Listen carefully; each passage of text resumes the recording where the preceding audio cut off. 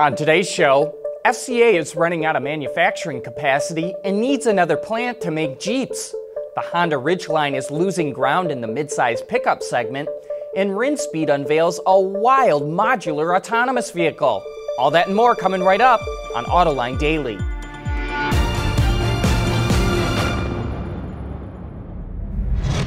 This is Autoline Daily, the voice of the global automotive industry. At a time when General Motors is talking about closing assembly plants, FCA is going to open one.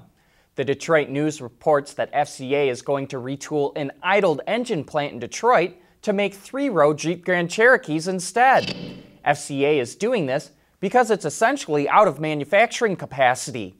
Last month, its plants were running at 92% of capacity, while GM ran at only 72%, and Ford was running at an average of 81%.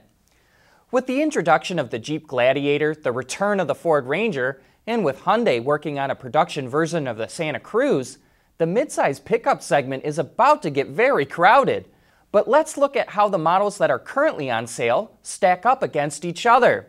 The Toyota Tacoma completely dominates its competition and is outselling the second place Chevy Colorado by over 100,000 units, and that's through the first 11 months of the year in the US. There's another big drop off to the third place Nissan Frontier, but it's impressive to see such an old vehicle still increasing its sales. The GMC Canyon is next and is up 8% so far this year. But poor Honda. Consumers just aren't responding to the Ridgeline, and it's the only midsize pickup whose sales are down in 2018. The segment as a whole is up double digits this year, so it suggests there's room for more players. Euro NCAP, the organization that crash tests new vehicles for the European market, is scolding FCA over the safety of its vehicles. The Fiat Panda and the Jeep Wrangler just received 0 and 1 star respectively in its latest round of tests. The Panda got dinged because it only features a seatbelt reminder as part of its safety assist features. And the all new Wrangler got a low score because the only form of driver assistance features it has is a seatbelt reminder and a driver speed limiter. The Euro NCAP says it's disappointing that a new vehicle like the Wrangler doesn't have automatic emergency braking or lane keep assist. Still to come, a look at a wild autonomous ride sharing concept from Rinspeed. AutoLine Daily is brought to you by Bridgestone Tires, your journey, our passion. Dow Automotive Systems, advanced materials that deliver better results. Lear, a global leader in automotive seating and electrical systems. And by ExxonMobil. Earlier this week, Chevy took the wraps off the new Silverado HD, which featured a very polarizing front end. Well, it turns out that was only one of its styles. Each of the five trims will get its own distinct design, features, and technology. Now the company is showing off what the top of the line High Country will look like. As you can see, the front end isn't as bold as the LT model it showed off earlier this week. But unfortunately, Chevy didn't reveal any more details about the High Country. The new Silverado HD goes on sale in mid 2019. A few months back, Swiss company Rinspeed teased a concept it will show off at CES next month. And now we're getting more details. Called the microSNAP, it's an evolution of the Snap concept it displayed previously.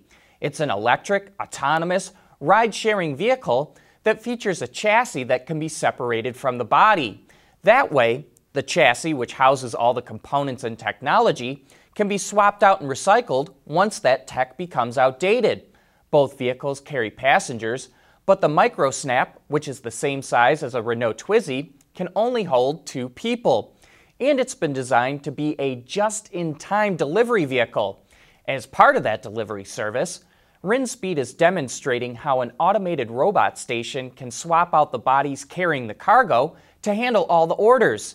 It's a pretty cool concept, but there's a lot more features that we don't have time to dive into. So if you'd like to learn more, just look for the link in today's transcript or in the description box below. Coming up next, a look at why Jeep chose the name Gladiator for its new pickup. Lear Connexus is the new application suite in vehicle connectivity designed to deliver over the air software updates and more from Lear Corporation's e systems, leaders in power and data management. When rumors started flying that Jeep was planning on introducing a pickup truck, it was assumed that it would be named the Scrambler in honor of the past model. But the company surprised people when it chose the name Gladiator instead.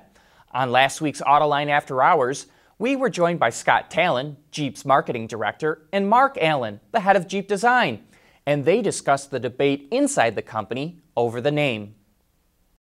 It was a lengthy process. Uh, it started months ago. Um, we were all involved. We all have opinions, strong opinions, and, and, and, varying opinions too. And then ultimately, um, you know, we have to come to a point where a decision has to be made. Um, we had uh, fun debates, spirited debates, and and it, it, was broad reaching. There was a lot of input, um, but you know, we always look to the history as inspiration, not only for the vehicles, but uh, the naming as well. Well, you know, we talked about the earlier ones, and they all had different names. So this is completely different from them. I guess it makes sense to put a new name on it. Gladiator yeah. was the full size, heavy duty truck, though. And okay. oddly enough, we found this out because I didn't know this, and I know a lot about Jeep, but it was never badged Gladiator the, that truck. It had it said uh, like you had to open the door and look on the doorpost of Gladiator, and of course in the the press materials and the advertising, but never on the truck did it say Gladiator. Well, see, I'm glad you brought that up because I don't remember the name Gladiator no, from back no. then at all. And it yeah. came and then went away. It, they, they dropped it, and then later on it was just J10, J20, that kind of a thing. So it's alphanumeric, but uh, and we're not going to go there. We're going to put names on the vehicles. Gladiator.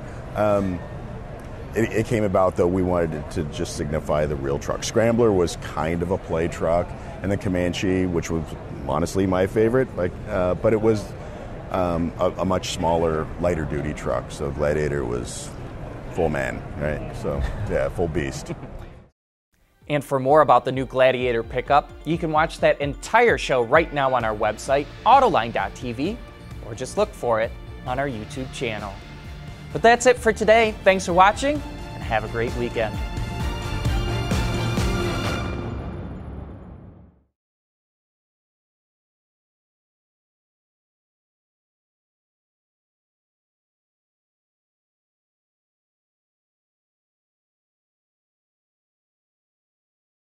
Wards is the industry leader for news, data, and analysis. That's why companies across the globe subscribe to our premium service, maybe even your own. Log in for subscriber access now. Check your company's intranet for details and rely on wardsauto.com to keep you informed.